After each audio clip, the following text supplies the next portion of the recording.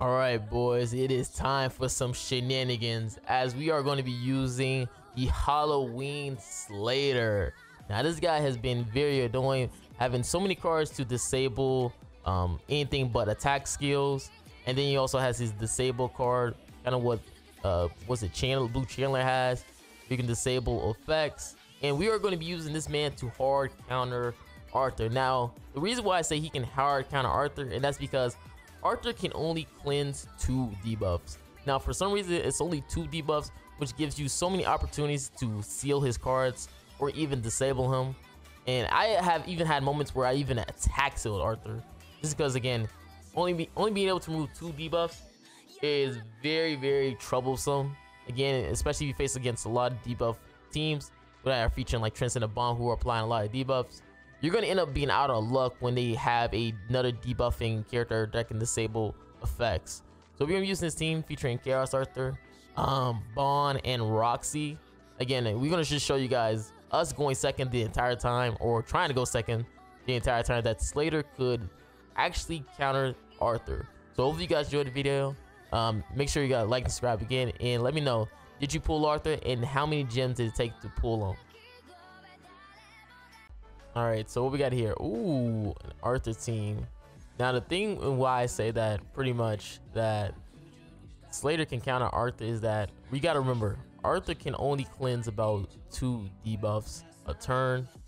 So when you have Slater who can apply about like freaking what was it like six or eight debuffs at once, and then you also have Ban applying debuffs, it makes it very easy to counter Arthur with Slater because again he's not cleansing as many debuffs as possible. So this is me even going second versus the arthur team. And you can witness he's going for his full on stacks right now. Um, as you can see he got all full stacks. So we go for ours where we're just going to be merging cards together. Um, then we're to debuff him with slater. And then we can go for this as well because he is going to try to use his cards. See we apply so many debuffs and now we're going to disable as well so he can infect. But he's mostly going to get most of his damage from that max damage dealt boost. Um, but that's fine because again we're applying so many debuffs on this guy. He can't really do much anyways. So again it's gonna be our turn to pretty much uh, get through him. Feel like he's not really trying to use Arthur cards okay and there goes the hit. Doesn't really do much damage. Again, all we're going to do right here is just disable his Arthur again. Or it looks like we can also attack as well. So we're going to disable him. So we're going to take away his uh, abilities right now. And then we can go for ultimate. Because again, we're stopping him from infecting as well too. Because this guy can only get rid of two debuffs at a time. And he's locked onto Arthur because of my taunt and the Chaos Domination. So that means Escanor and Bond is going to have to attack Arthur the entire time. So good luck, my good luck, my guy. Now Arthur only has his Chaos Domination, um, that increased max damage dealt and stuff based on like the HP. Which again gonna mean nothing because again we uh we stopped him from being able to infect. So he can't AoE. Only thing he can do is just single target. As you can see, he pretty much was he pretty much did nothing. So this is gonna be the time where we just oh that's why I said like Slater can counter hard counter Arthur because he can only remove two debuffs. Just risk so many things in PvP. Like it's so easy to counter that. Um, there's been times where I've where I have like attack sealed Arthur because of that. But GG, my boy. GG. Let's see what he had in the back. Oh my god, Easton. Is he okay? Easton is crazy. That is crazy. Alright, so this time we got a Liz team. Now, I like the Liz team. Um, just because it does... Oh my god, is this guy using ultimate. Oh, rush. Either using old food or what. Something must be old food. And then he's gonna get rid of your uh, Diane. Now I like this team because it has a lot of defensive capabilities being with Liz. The only unfortunate thing is that Liz is um you need like high dupe Liz. If you don't have a high dupe Liz, you're probably gonna lose. So we stop his Diane from being able to uh, stand sub. So what we can end up doing is just blasting this team left and right. Depending on who gets to revive right now. I think it's gonna be Diane. I think Diane technically has like the lowest HP. Depending on if you have like uh cosmetics and stuff like that. Yeah, she's the lowest HP. So let's go for you. And then we go for his Liz. Again, his Diane is kind of locked from her stance. So she can't really do much. And look like he did have a little bit of dupes too on his Liz too. Like probably like four out of six. But it's still not enough. Because Arthur just hits so hard. So GG my boy. Because he can't do anything. Diane is literally locked. Yep. Like I said, locked. Yo, I just got done reading that dev note from um on JP. Like JP got the dev note first, and that stuff was like a whole lot of yapping.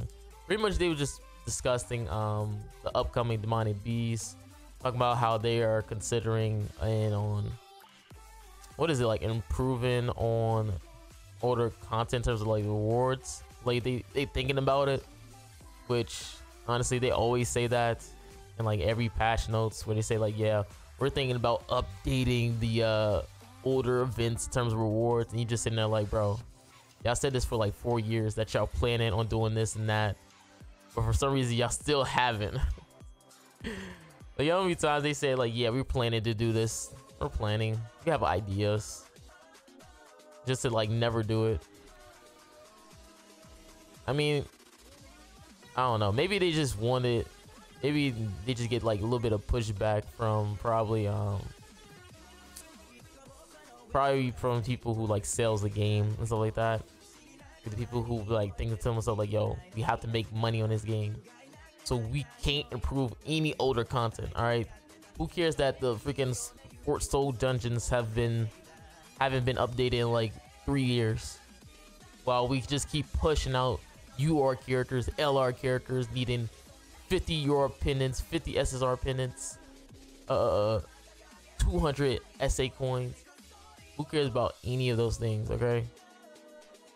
Uh, like this stuff be just so funny to me. But again, this team is like pretty fire. And they also said like with the the freaking new demonic beast, the the squirrel, it did say that this will be an activity where it'll be um, a little bit different. Um, and, and will pretty much pretty much require a new because actually no you know what they said? They said that um it'll allow you to utilize old, under I think it was underwhelming to use underwhelming skills and stuff like that. And all that just read to me it'd be like yo are they gonna turn this freaking the scroll demonic beast into like um the demon king raid where you got to use like the most trash cards to pretty much um, get through it. Like, this still going to say, yeah, you got to use like recovery skills. Yeah, you got to use stance skills. Just to make it pretty difficult and annoying.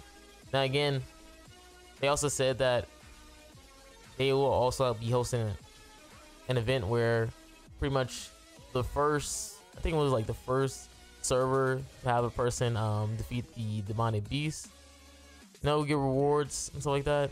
And they have like they always have like that competition. I think they had it for um, I think for Nidhogg. Is it Nidhogg or Dog?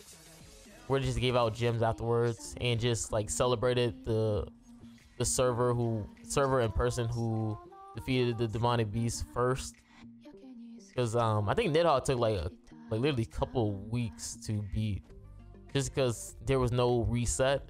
Like if you don't know, usually when the demonic beast comes out it never has a reset so what i mean by reset is that sometimes you can reset your turn if somehow maybe you might overkill or you don't kill pretty much allowing you to um reset that turn and start over to try a different combination and sometimes it can help because there'll be some moments where okay, if I use this combination together, then this time I can probably crit or something. And that's how it usually goes. And that's why I said like sometimes the Demon Beast could be a little bit uh, difficult, a little bit hard, just because of the first that first couple of weeks they don't allow you to reset your turns. So you're kind of just you're kind of just out of luck at that point.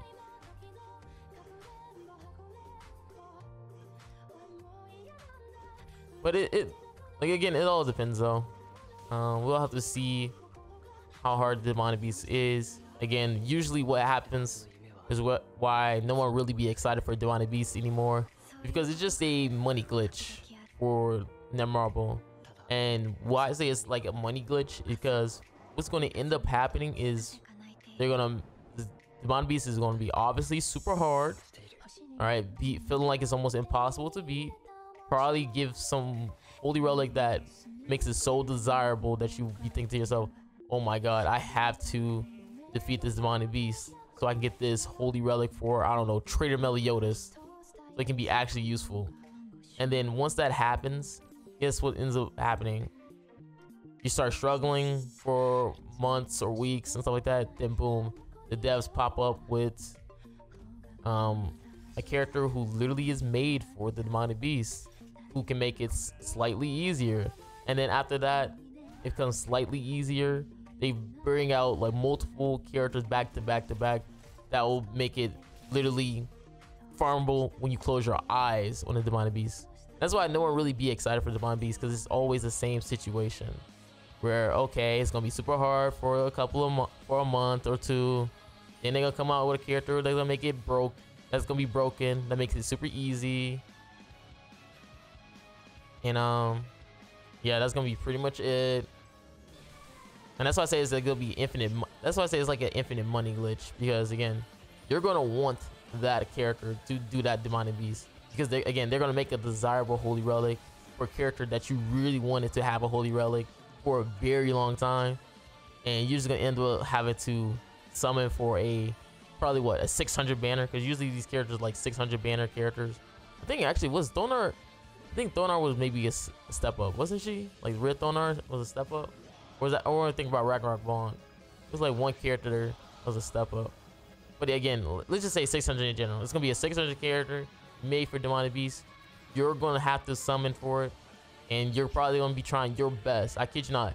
Every time a new Demonic Beast come out and then a character made for a Demonic Beast comes out, I kid you not. Every YouTuber says, "Yo, summon for this character right now, or you're gonna suffer for eternity." And I kid you not, it's like the it's like the free to players just hear that and it just goes out one ear, okay? Because what ends up happening after that is that they end up skipping that character and then they talk, then they be in your comments like, yo, how can I do this without this character? Uh, I skipped for some reason. When you've been sitting there like for freaking four weeks in a row, yo, before this character leave, please summon for this character. Before this character leaves, please summon. And they just in your comments, how do I beat it without using this character? And you just be like, yo, you out of luck, man. You gotta wait wait those couple months until um the character they come out with a broken character. Make it easier. I mean, that's how it be. I mean, we have to see if probably um what's it the the red LR Elizabeth. She's made for like all the demonic beasts. I'm actually curious to see if maybe she'll make it slightly easier. I doubt they'll make it easier with LR Elizabeth. Like it might they might do some shenanigans where they might freaking counter goddesses. They might do that. Goddesses. This is because goddesses seem so stacked in terms of characters and base stat boosting that they will have to counter that, right? Because you have LR Elizabeth. You can just pair this alongside of Mael. You have the new LR Margaret. Um, and then some people will be using like Red Tarmiel Link as well. Not Red Tarmiel Link, uh, Red Tarmiel or e Elate. Like they have to do something where they got to make it so it's almost impossible to farm. But again, I am pretty excited for it. Um, I'm very curious what they will release as the new Ragnarok character because I think the Ragnarok is releasing next month, like in April, I believe.